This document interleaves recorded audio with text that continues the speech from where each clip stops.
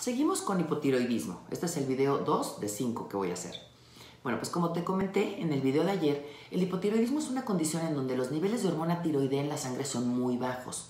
Con esta enfermedad lo que hace el cuerpo es que produce anticuerpos contra las células que producen la hormona tiroidea. Las células blancas de nuestro cuerpo destruyen el tejido tiroideo y los vasos sanguíneos de la glándula.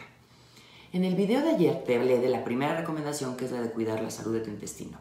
Bueno, pues la recomendación de hoy es la de incluir en tu dieta algunos alimentos y te voy a decir cuáles. Los primeros son los vegetales crucíferos. Estos son brócoli, col repollo, coliflor, col de Bruselas, bueno, pues todos estos. Antes creían que eran malos para la salud de la tiroides, pero ya se demostró que es exactamente todo lo contrario, siempre y cuando los niveles de yodo sean los adecuados. Estos cómelos siempre cocidos y nunca crudos.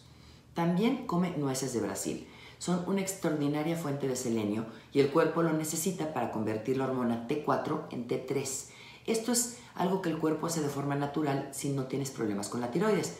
Pero si tu tiroides está enfermita, bueno, pues ayúdala comiendo nueces de Brasil que van a mejorar muchísimo tu funcionamiento tiroideo. También come vegetales marinos, que son algas marinas. Son fuente de yodo y es la mejor fuente de yodo que conocemos. También te acabo de hacer un video de eso. Échale ojo. Y come pescados como el salmón, que son excelente fuente de yodo también y de omega 3. El omega 3 es un potente antiinflamatorio y todas estas enfermedades autoinmunes son inflamatorias. La tiroides tiene mucho que ver con muchísimas funciones del cuerpo y puedes mejorar muchísimo la salud de tu tiroides si cuidas lo que comes. Mira, sigue siempre la recomendación de tu médico y no dejes nunca jamás tus medicinas sin que tu doctor te lo indique, pero tampoco tomes medicinas que tu doctor no te haya mandado.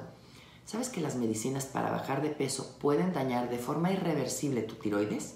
Es muy delicado, muy, muy delicado tomarlas sin la guía de un médico. Entonces nunca te autorrecetes ninguna medicina y menos esas pastillas para bajar de peso.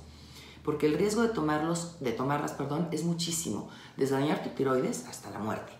Entonces, y si te las vas a tomar, tiene que ser con un médico. El seguimiento de un médico es indispensable cuando estás con ese tipo de medicamentos para que cuide cualquier tipo de efecto secundario. Entonces, bueno, pues este fue el segundo, la segunda recomendación, que comas este tipo de alimentos. Y si te gustó este tip de tu health coach, comparte y no te pierdas mañana la tercera recomendación de lo que debes de hacer para mejorar una condición de hipotiroidismo.